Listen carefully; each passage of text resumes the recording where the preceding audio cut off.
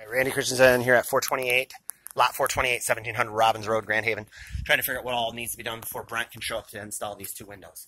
Uh, there is a slight sag. Um, first thing is you got to send somebody on out here to uh, resister on a 2x6, probably about 36 inches on in from underneath the trailer. Uh, it looks like it's it's it's only rotted about 12 inches or so back. So if you sister two 36 inches back, that should be more than strong enough to support the subfloor.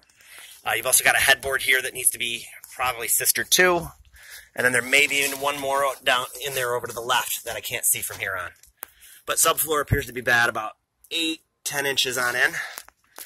So while the person's doing that, same guy should also be doing Gaco roof or ponding roof, any any type of uh, pour-on seal-based roof up top of here. Trowel, uh, just cover it on up. That was what was done before. I'm not sure if the leak is coming back into here and working its way down through the window, but it's it still needs to be done just to guarantee the work. Same exact person while they're here.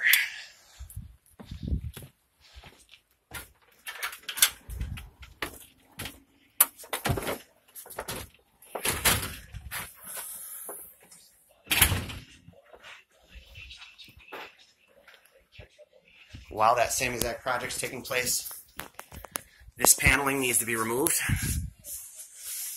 Uh, should be safely undone. If it's unsalvageable, homeowner is aware they just want it replaced. They'll they'll paint it or whatever to match future. The linoleum has to be removed, stripped back.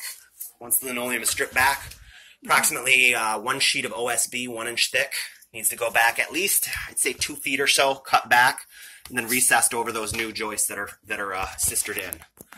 Once that happens, tear out all linoleum, replace as per contract. Uh, once the linoleum's in and then the, the paneling's back on, uh, then it should be safe for Brent to do his job.